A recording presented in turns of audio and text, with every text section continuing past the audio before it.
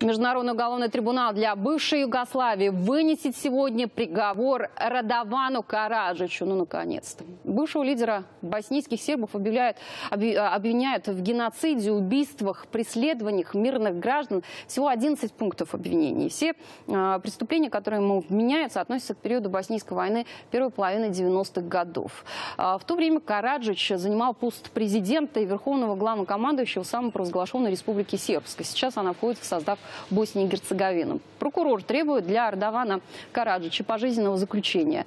А, лидер боснийских сербов 13 лет скрывался от международного правосудия. Спецслужбы Сербии арестовали его в пригороде Белграда в июле 2008 года.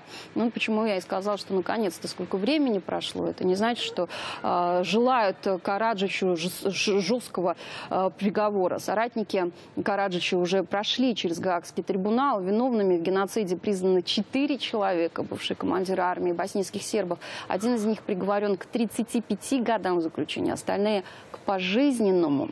В самой Республике Сербская Радован Караджич стал национальным героем. И многие надеются, что он будет оправдан.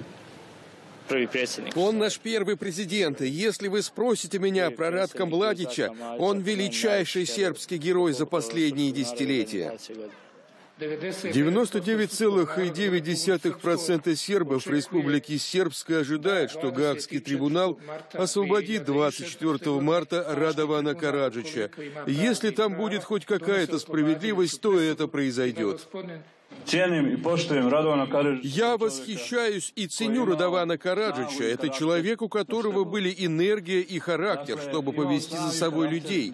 Я уважаю его, потому что он пожертвовал своей собственной жизнью и своей семьей ради одного – выживания Республики Сербской. Не имеет значения, что я говорил о нем раньше. Это то, что я думаю сегодня. Mislim ovo.